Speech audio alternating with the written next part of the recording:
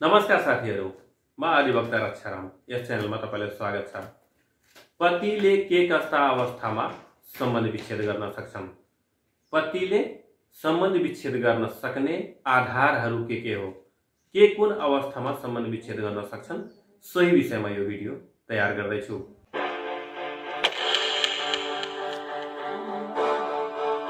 Court marriage र सम्बन्ध विच्छेदको बारेमा मैले यसअघि पनि भिडियो बनाइसकेको छु। आजको यस भिडियोमा पतिले के कुन अवस्थामा सम्बन्ध विच्छेद गर्न सक्छन् भन्ने कुरोमा मात्रै केन्द्रित रहेको छ। मुल्की देवानी संहिता दुई हज़ार चौहत्तरको दफ़ा चौरानब्बेमा पतिले सम्बन्ध विच्छेद गर्न सक्ने आधारहरू तय गरेको छ, जसमा चारवटा आधारहरू रहेको देखिन्छ।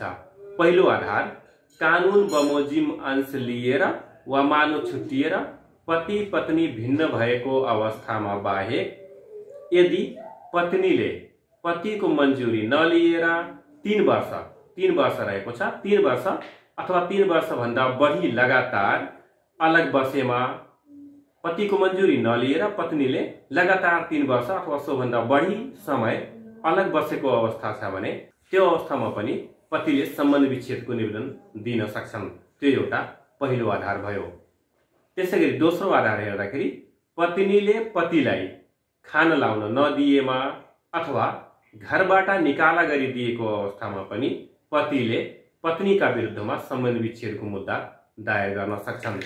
त्यसै गरी तेस्रो आधार हेर्दाखेरि पत्नीले पतिको अङ्गभङ्ग हुने गरी कुटपिट गरेमा वा अरू कुनै ठुलो शारीरिक वा मानसिक कष्ट हुने किसिमको कुनै काम गरेमा अथवा जाल प्रपञ्च गरेमा अङ्गभङ्ग हुने गरी कुटपिट गर्यो त्यसको अङ्गभङ्ग भयो अथवा अन्य कुनै जाल प्रपञ्च गरेमा जस्तो कि पतिलाई कुटपिट गर्नको लागि पतिको हानि नोक्सानी गर्नको लागि मान्छे लगाएर कुटपिट गर्न लगाउनु अथवा त्यस्तो जाल प्रपञ्च गर्नु अथवा अन्य कुनै किसिमले त्यस्तै ठुलो किसिमको क्षति पुर्याउने गरी पतिका विरुद्धमा कुनै काम गरेमा अथवा जाल प्रपञ्च गरेमा पनि त्यो सम्बन्ध विच्छेद गर्न सक्ने आधार रहेको छ।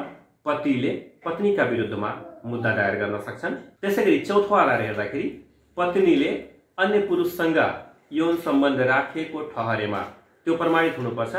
यदि पत्नीले अन्य कुनै पुरुषसँग यौन सम्बन्ध राखेको छ र त्यो प्रमाणित भयो भने त्यो सम्बन्धी विच्छेद गर्ने चौथो आधार रहेको छ। यसरी नै पतिले पत्नीसँग सम्बन्ध विच्छेद गर्ने यी चारवटा आधार भयो।